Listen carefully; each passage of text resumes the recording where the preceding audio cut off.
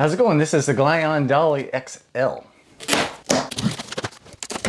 right, everything in there looks very well packaged.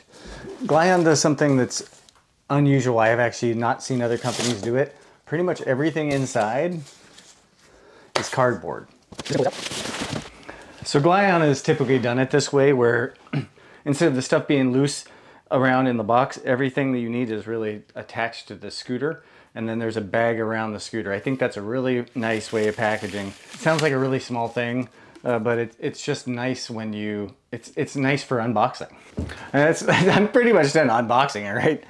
Well, this is pretty cool. I like, I like when you see companies stepping up their game. This seems like a big step up in quality from the previous uh, Glion pro products. That's as simple as the unboxing gets.